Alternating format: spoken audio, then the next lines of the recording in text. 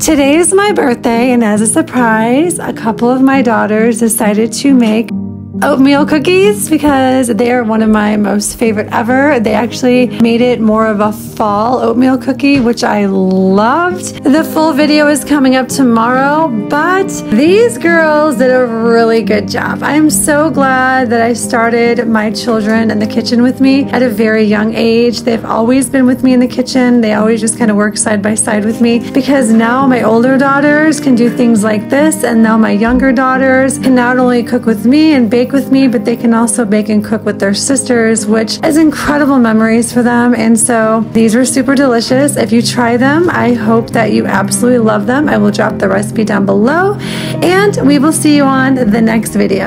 Take care.